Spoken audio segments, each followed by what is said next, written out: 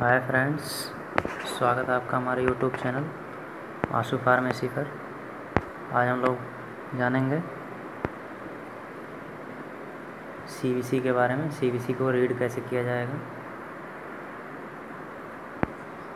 तो दोस्तों, चलिए शुरू करते हैं। देखिए, मैंने सीवीसी पेशेंट का सीवीसी है, उसको मैं आपको दिखा रहा हूँ।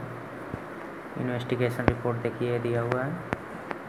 इसमें दिया है। एक तरफ़ टेस्ट लिखा है, एक तरफ़ रिज़ल्ट लिखा है और यूनिट और ये रेफरेंस रेंज दोस्तों, ये ब्लड के पूरे जो सीबीसी के अध्ययन को हम कौन सा, किस शाखा के अंतर्गत अध्ययन करते हैं? हिमाटोलॉजी उसको हम हिमाटोलॉजी बोलते हैं। इसमें पहले नंबर देखिए दोस्तों, ये हीमोग्लोबिन कितना दिया है। इसमें हीमोग्लोबिन दिया है ग्यारह point six eleven point six इसमें दिया है हीमोग्लोबिन। तो हीमोग्लोबिन दोस्तों, नॉर्मल है। हीमोग्लोबिन का रेंज नॉर्मल है, कोई ज़्यादा कम नहीं है ठीक ठाक है। वैसे बारह तेरह होता है, तेरह से चौदह तक इसी बीच में अरेंज रहता है। और ये आर बी सी देखिए फोर पॉइंट फोर फाइव ये दिया है। ये भी नॉर्मल है।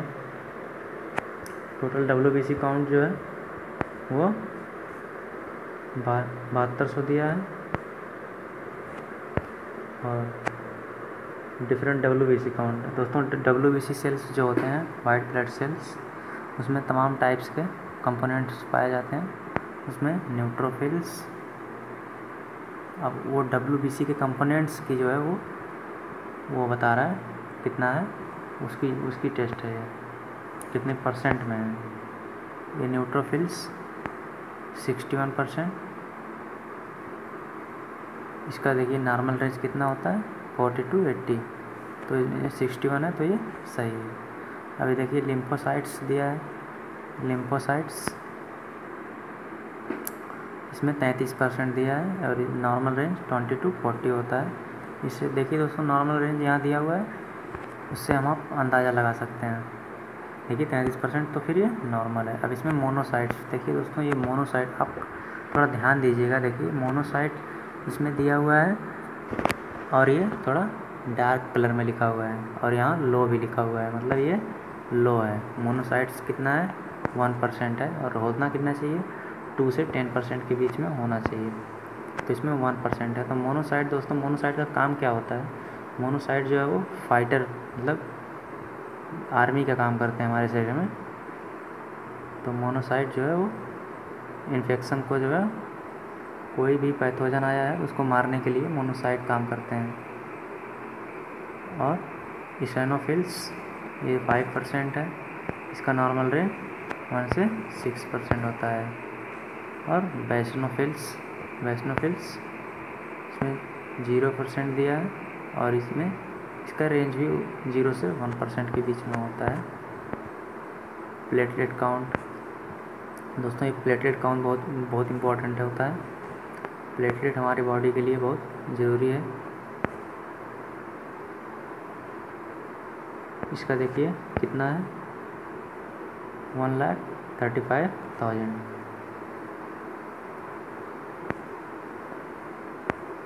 और इसमें नॉर्मल रेंज कितना होता है डेढ़ लाख से चार लाख दस हज़ार तक।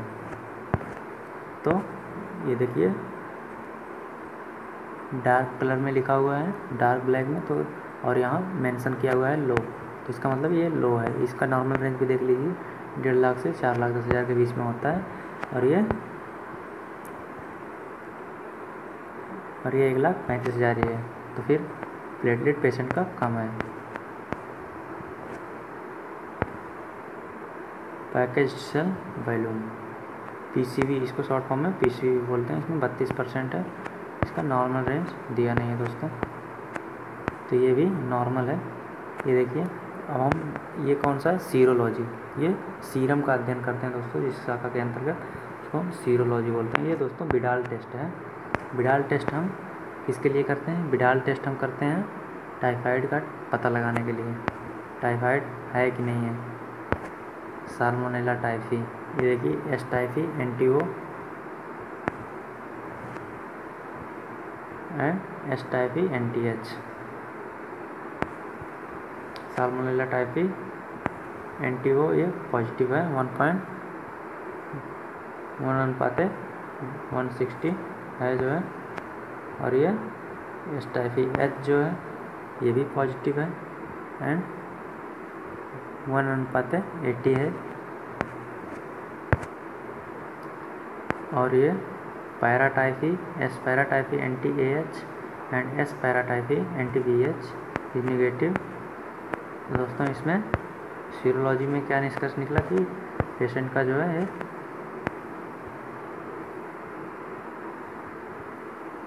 बिडाल टेस्ट जो है पॉजिटिव आया है। और इसको और ये प्लेटलेट काउंट जो है कम है और ये मोनोसाइट कम है। तो पेशेंट को एंटीबायोटिक दिया जाएगा। इसको सालमोनेला टाइफी को किल करने के लिए एंड प्लेटलेट बूस्टर दिया जाएगा। और ये मोनोसाइड बूस्टर दिया जाएगा। दोस्तों वीडियो कैसी लगी? कमेंट करके बताएँ। Thanks for watching this video